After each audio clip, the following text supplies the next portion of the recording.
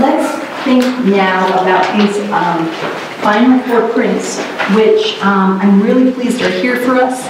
They were brought um, on loan from the Blaffer Foundation in Houston for you. If I were to tell you that this is an entire print, what um, technique do you think it would be?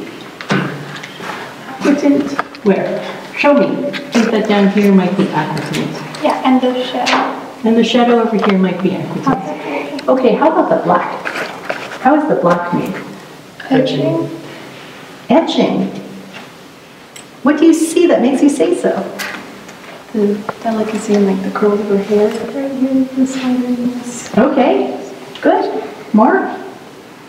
Anything else? How is that color achieved? Hand painting. Good. What do you see that makes you say so? Um,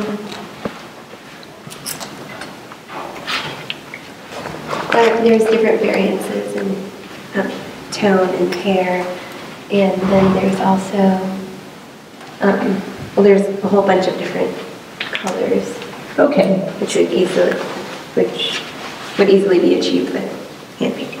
okay, okay. So let's uh, step back and say that James Gillray is one of the most famous um, um, caricaturists of um, England of this period.